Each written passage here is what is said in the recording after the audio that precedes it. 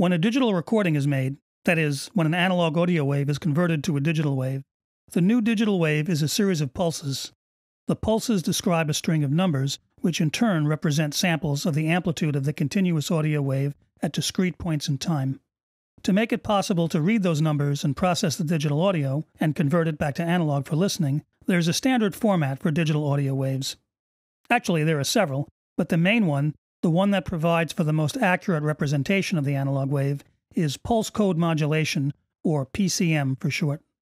Sometimes, as a reminder that this format is the most accurate way to encode a digital audio signal and doesn't use any specialized processing to reduce file size that also reduces audio quality, like MP3s.